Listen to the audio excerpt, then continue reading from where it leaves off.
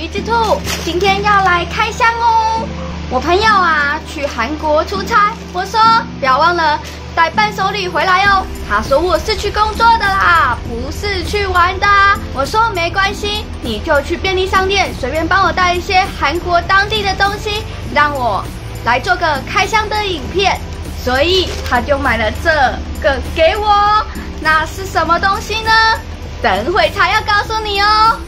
所以在看之前，不要忘了订阅、留言、分享、按赞。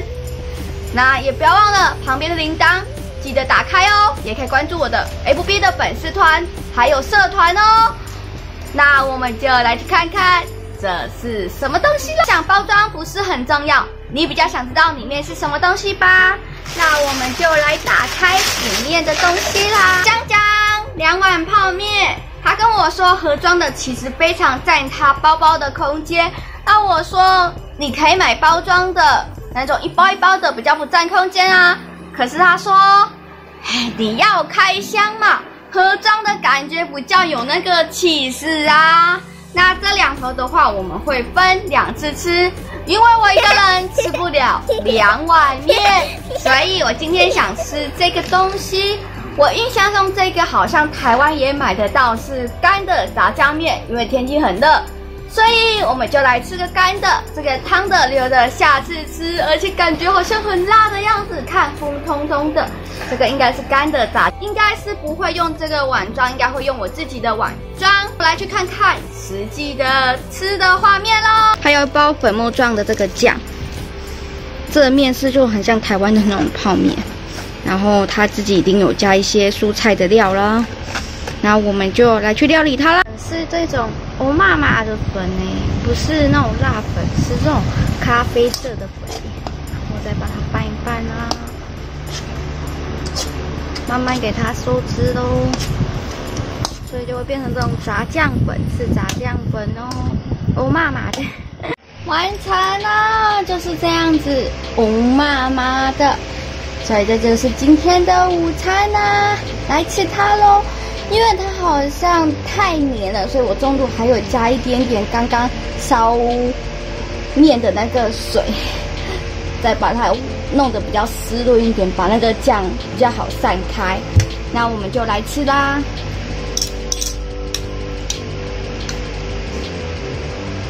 看看面是这种的，这种面。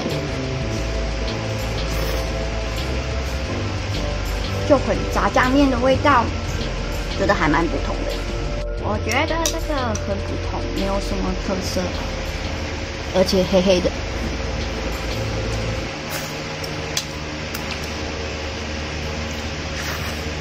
嗯，它一点都不辣，味道很重，但是我觉得就很普通，就没有什么很惊艳的东西。那就要把这碗吃完喽，我们的中餐。来开吃喽！下寿司，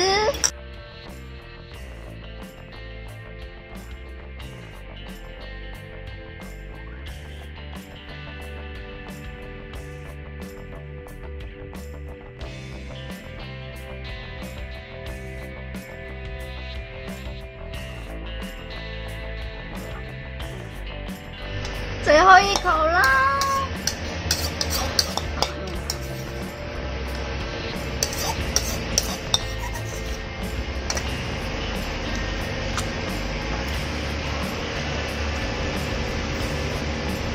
韩国的泡面，想说来吃吃看，可是我觉得真的很普通。要吃这个，我宁可吃台湾的维力炸酱面，那个超好吃的。所以这个算是还蛮普通的。期待下一个汤面会很好吃。那今天的影片就这样子喽，影片结束喽。如果喜欢我的影片，不要忘了给我点个喜欢，并且分享给你的朋友。不要忘了订阅我的频道，旁边的铃铛也不要忘了哦，才可以持续追踪。我的影片，那也可以关注一下我的 FB，还有我的 IG，FB 还有社团哦。那今天的影片就这样啦，看下次用怎样的影片来记录生活喽，拜拜。